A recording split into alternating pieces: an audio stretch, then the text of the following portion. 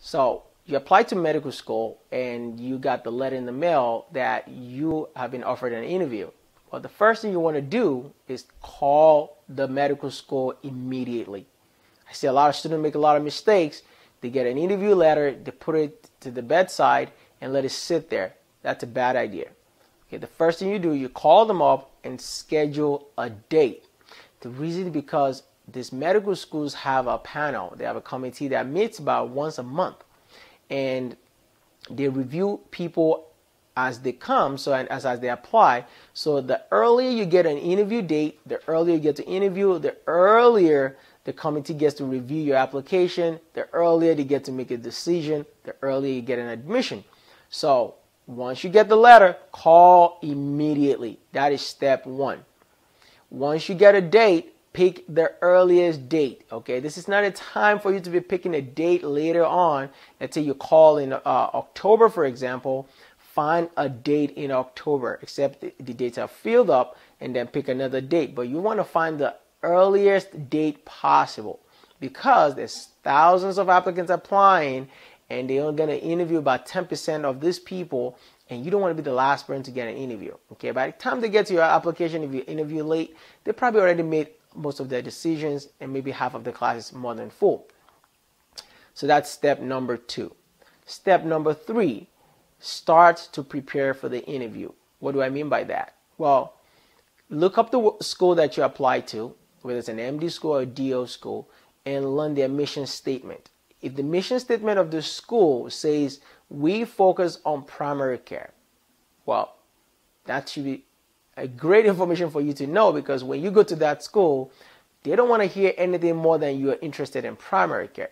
Okay, so you want to sell yourself so that your values, your ideas match the mission statement of the school. Okay, if the school says we are focused highly on research, well, don't go to the school and say, oh, you know, I'm not a big research person. Well, that's a big red flag because maybe the person you're talking to is the head of their research facility and they are very big on research. So you look on their website and they said, you know, by the end of your third year, you should be a publish a paper or, you know, doing a research study.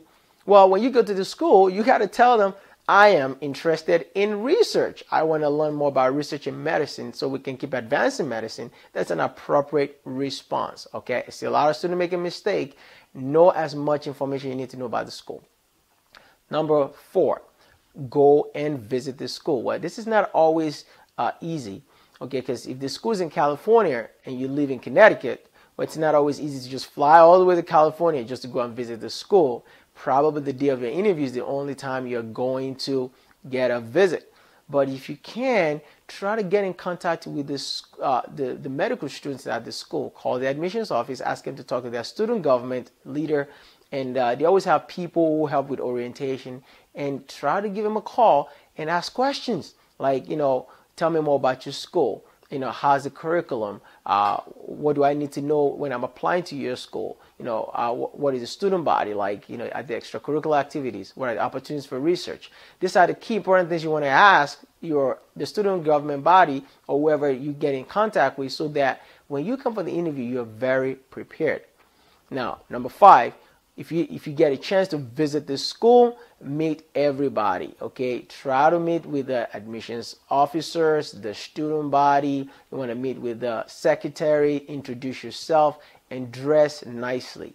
I don't care if you're just visiting just for visiting sake make sure you dress sharp. As if you're coming for an interview. I see most students wear, wear like khakis and polo shirts and walk into school no no you're an applicant you're not a medical student yet you want to give them a first impression and you walk in there with your suit and your tie, they look at you more seriously, you know. So that's what you want to do.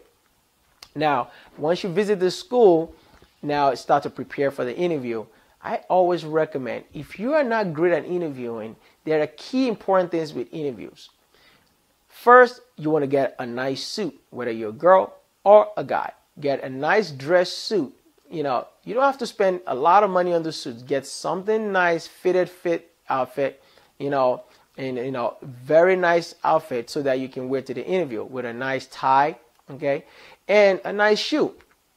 Nice haircut before you go to interview. Look your best okay? You're going to impress people and they want to your first impression of what they look at you really matters a lot okay? So don't forget that. Dress your best and then when you're preparing for the uh, for the interview ask your friend to help you out. Ask your dad your your, your sister your mom and there are a list of interview questions on the internet you can pull up. And you can use these questions to guide yourself. You know most of the questions goes like why do you want to become a doctor? Well, you know they're going to ask, ask you that question on the interview day, okay? And you better have a really well thought out question, I mean, answers for that question. Don't go in there and say, well, I want to become a doctor because my father went to medical school, my brother is a doctor, and my mom is a dentist. But that is not a good reason to go into medicine. It's a lot more than that. Okay? You know, and don't say, I want to go, I want to help people. They have heard that a million times. You know how you can help people? If somebody's starving on the street and you give them food, you just help them. So you want to have a genuine reason, a passion, and you want to show them how passionate you are about becoming a physician.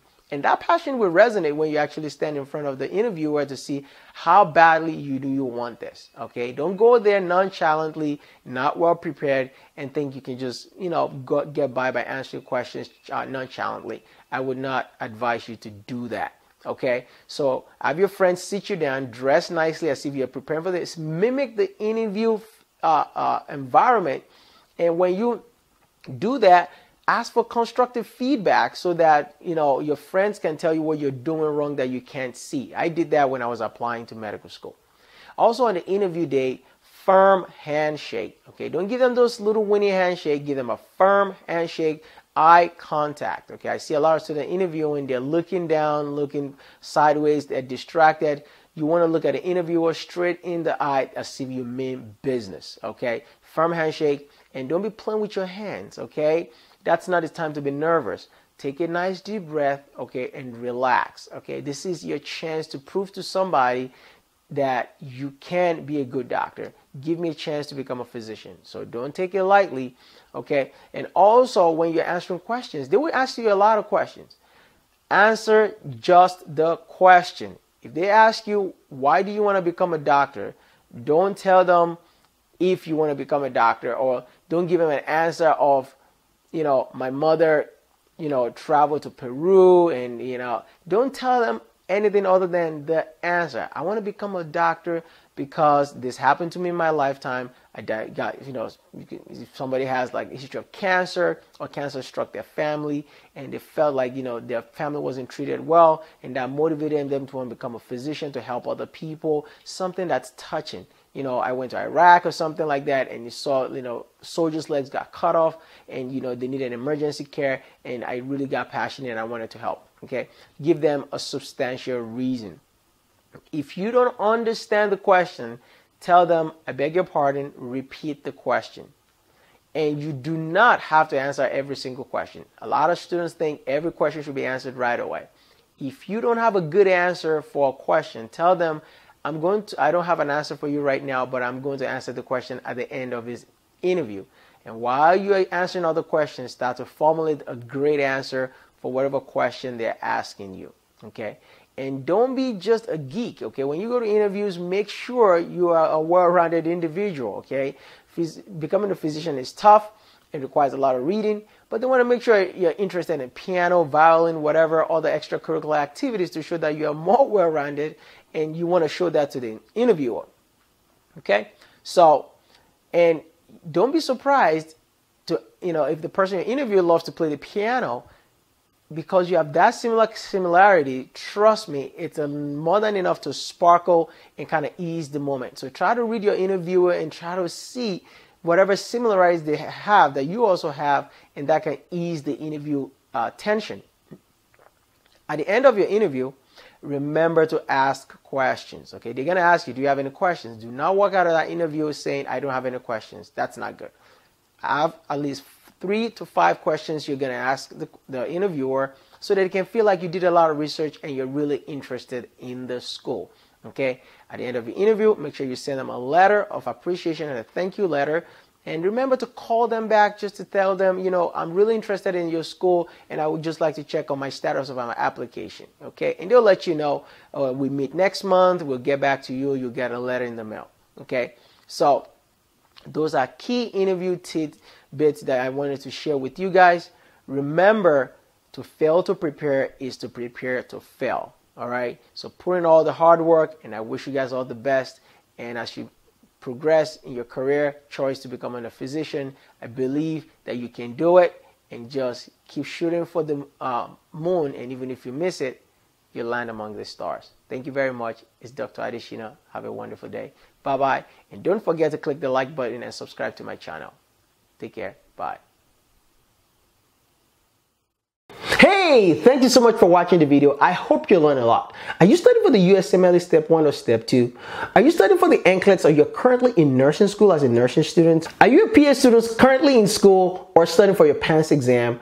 Or are you a nurse practitioner student or trying to take your NP board exam, listen, I've got super awesome content for you. If you truly love this video and it simplified your learning process, I want you to check out my website below. I've listed all the list of exam whether you're studying for any of this board exam, and all I want you to do is click on the link right now below so that you can take you directly to my website. For USMLE, just go to smashusmle.com.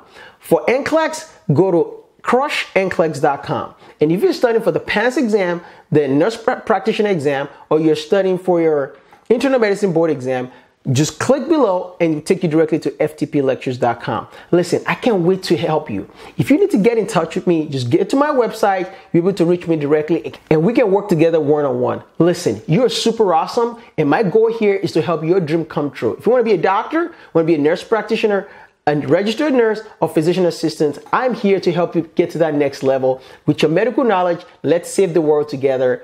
I love you guys. You guys are super awesome. And do not forget to click on the link below to be able to get to my website. Also, don't forget to subscribe to my channel. You guys have a great day. Let's go.